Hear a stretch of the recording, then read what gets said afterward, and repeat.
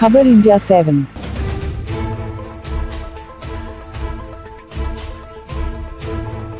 नगर निकाय चुनाव का शंखनाद हो चुका है। सहारनपुर में आखिरी यानी तीसरे चरण में 29 नवंबर को मतदान होगा और 1 दिसंबर को मतगणना की जाएगी।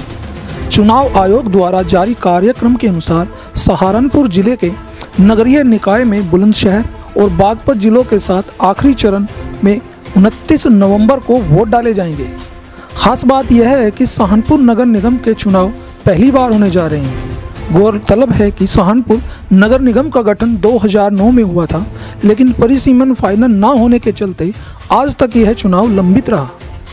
नगर निकाय चुनाव की दुदुम्बी बजने के साथ सहारनपुर के लोगों में अपने मेयर का बेसब्री से इंतज़ार है। सहारनपुर का मेयर कैसा हो, इस बारे में हमने कुछ लोगों से बात की। आइए जानते हैं कैसा मेयर चाहते हैं सहारनपुर के लोग।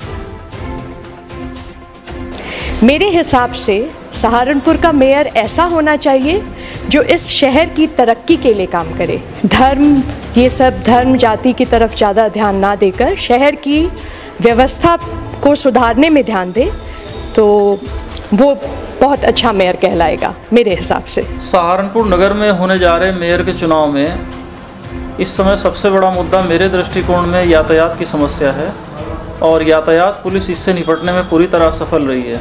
तो अगर नया मेयर यातायात और ट्रैफ़िक की समस्या को प्राथमिकता के आधार पर तय करेगा तो सहारनपुर के लिए और यहाँ के लोगों के लिए बेहतर होगा। इसके अलावा मतदाता सांप्रदायिक और जातिगत आधार पर वोटिंग ना करें। उम्मीदवार की पृष्ठभूमि और उसकी शैक्षिक योग्यता, उसका समाज सेवा के लिए किया गया उत्थान, इन सारे कार्यों को मद्देनज़र रखते हुए ही मतदाता मतदान करें, ताकि बेहतर उम्मीदवार चयनित होकर, निर्वाचित होकर सामने आए। मेयर शहर का प्रथम नागरिक होता है। और लोग उसकी बात सुनते हैं,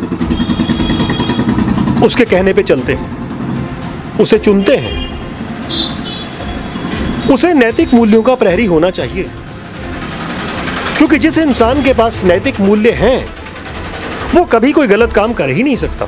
वो काम करेगा तो सारे के सारे सही करेगा, ना रिश्वतखोरी करेगा, ना घृणा करेगा, ना नफरत करेगा, किसी को कोई दुख नहीं देगा, किसी को कोई परेशानी नहीं देगा और सभी के दुखों को अपना समझते हुए सारे शहर का विकास करेगा।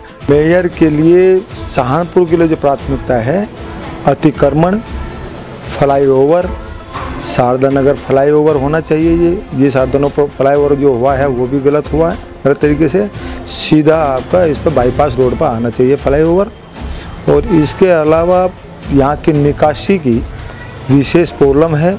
सहारनपुर का निकासी पानी की है ही नहीं है, शिविर भी बेहतर नहीं है, बेहतर होने, शिविर होने चाहिए।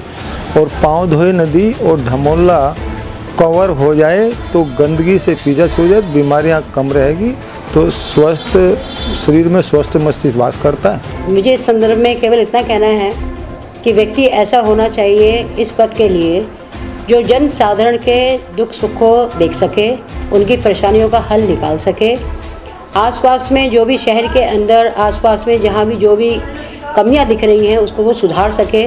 केवल पद पर आसीन ना रहे या सत्तारूढ़ बन करके केवल जनता को धोखा ना दे क्योंकि आज तक यही होता आया है कि जिस भी शासन प्रशासन के हम कर्मचारी से मिलते हैं तो हमें बहुत संतोषजनक जवाब नहीं मिलता कार्य पूरे नहीं होते। आपके हिसाब से सहारनपुर का मेयर कैसा है? मेरे हिसाब से सहारनपुर का मेयर जो जाति धर्म से ऊपर उठ के काम करे सहारनपुर का विकास करे क्योंकि सहारनपुर पिछले कई सालों से विकास की राह जोड़ रहा है और लोग यहाँ के कोशिश कर रहे हैं कि विकास हो। क्योंकि बहुत दो हज़ार नौ में सहारनपुर नगर निगम बना था। उसके बाद से लगातार विकास के यहाँ लोग इंतज़ार कर रहे हैं, विकास होगा विकास होगा। हर जगह सड़कें अच्छी नहीं हैं शिविर नहीं है। कुछ जगह गंदगी का ढेर लगा पड़ा हुआ है। तो मेरे हिसाब से राजनीति इसके ऊपर ना हो बिल्कुल भी।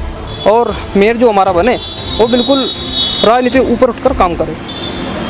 मेरे हिसाब से सर मेयर का जो यहाँ सहारनपुर का जो उम्मीदवार या प्रत्याशी होगा या जो मेयर होना चाहिए यहाँ का, वो इस तरह का होना चाहिए कि एक तो सभी लोगों को साथ लेकर चलने वाला हो, विकास की भावनाएँ उसके अंदर हो, और ऐसा ना हो कि मेयर बनने के बाद क्षेत्र को भूल जाए। जैसा कि हम लोग अक्सर देखते आए हैं कि विधायक बन गए, सांसद बन गए, उसके बाद जो है क्षेत्र के बारे में पता ही नहीं है क्या हो रहा है, क्या नहीं हो रहा है। वो उस क्षेत्र में जाए, देखे स्थिति क्या है, उसमें विकास कार्य उसी हिसाब से कराए, और ऐसा ना हो कि पब्लिक जो है अपनी शिकायतों का पिटारा वो झुका तू रहे, ऐसा ना हो। मैं भगवान से प्रार्थना करता हूँ कि सहारनपुर को ऐसा मेयर मिले जो सहारनपुर का चौमुखी विकास करा सके, सहारनपुर के लिए नई नई योजनाएँ ला सके।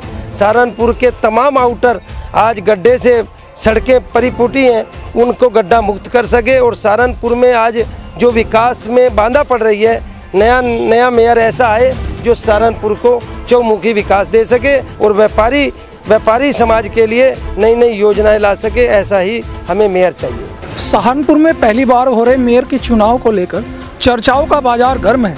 हर कोई चाह रहा है कि शहर को एक ऐसा मेयर मिले जो चहुमुखी विकास कर सके। लेकिन जनता द्वारा चुना गया मेयर कसौटी पर कितना खरा उतरता है, ये तो वक्त ही बताएगा। अपने साथी कैमरामैन राजीव ठाकुर के साथ मैं मनीष कुमार, खबर इंडिया सेवन, सहारनपुर। देश प्रदेश की बड़ी खबरों को देखने के लिए खबर इंडिया सेवन को सब्सक्राइब कीजिए और अपने मोबाइल पर सबसे पहले और फ्री में खबर देखने के लिए बैल आइकन दबाएँ।